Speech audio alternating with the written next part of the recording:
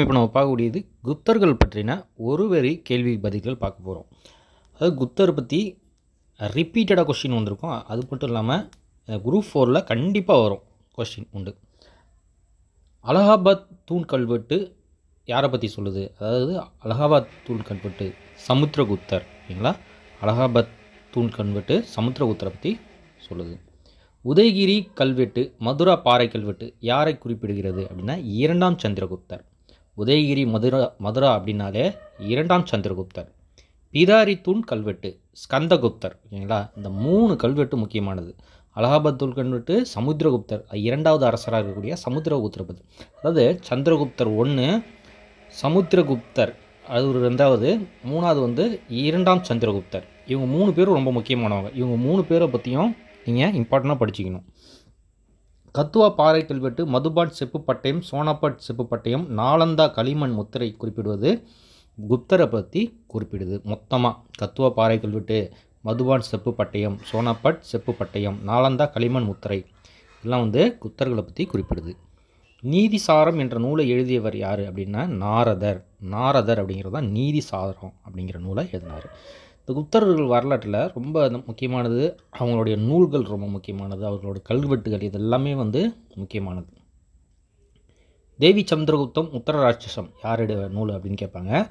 விசாகதத்தர் விசாகதத்தரின் தேவி சந்திரகுப்தம் உத்தரராட்சசம் அப்படின்னு படிச்சுக்கோங்க.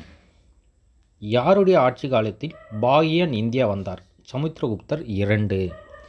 பாகியான் வந்தது சமுத்திரகுப்தர் இரண்டு அதாவது முக் மூணு முக்கிய அரசர்கள் சொன்னால அதில் மூணாவதாக இருக்கக்கூடிய சந்திரகுப்தர் இரண்டு. குப்த வம்சத்தை தோற்றுவித்தவர் ஸ்ரீகுப்தர். இவர் தான் முதல்ல குப்த வம்சத்தை தோற்றுவிக்கிறார். மகாராஜா என்ற பட்டப்பெயர் சூட்டி கொண்டவர்கள் ஸ்ரீகுப்தர் அப்படிங்கிறவரும் கடற்கொஜகுப்தர் அது ஸ்ரீகுப்தர் தோற்றுவிக்கிறாரு அவரோட மகன் கடற்கொஜகுப்தர் அடோ அவருடைய மகன் தான் வந்து முதலாம் சந்திரகுப்தர். அவருடைய மகன் வந்து சமுத்திரகுப்தர். சமுத்திரகுப்தருக்கு வர அடுத்து வரக்கூடியது தான் இரண்டாம் சந்திரகுப்தர் ஓகேங்களா? இந்த அந் ஐந்து வரிசையும் ஞாபகம் வச்சுக்கிங்க. ஏன்னா அப்படியே கேட்பாங்க. வரிசையை அப்படியே வரிசை பற்றி கேட்பாங்க. ஸ்ரீகுப்தர் கடஜோகத்தன் முதலாம் சந்திரகுப்தர் சமுத்திரகுப்தர் இரண்டாம் சந்திரகுப்தர்.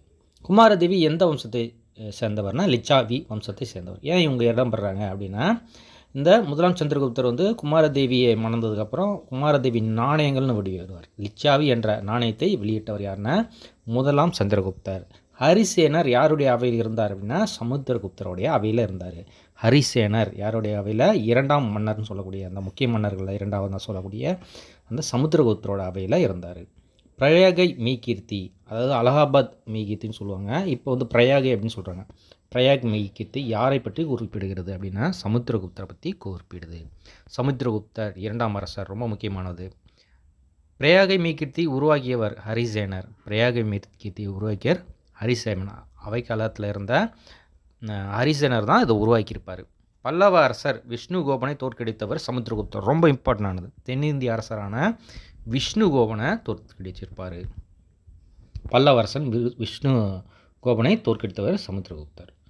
அவ்வளோதான் அடுத்த வீடியோவில் நான் ரெண்டாவது பாட்டு பார்க்கலாம். அது இன்னும் இன்ட்ரெஸ்டிங்காக இருக்கும். ஓகேங்களா? அடுத்த வீடியோ சந்திக்கலாம். நன்றி வணக்கம். தேங்க்யூ